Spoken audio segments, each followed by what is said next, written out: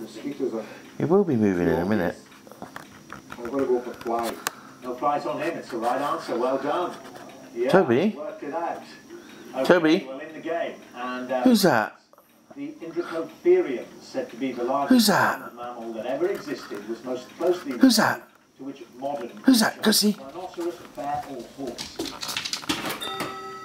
think I've seen pictures of. Toby? Sure I can remember what it's most closely related to. I'm tempted to say horse, except that in the very earliest horses were pretty small things.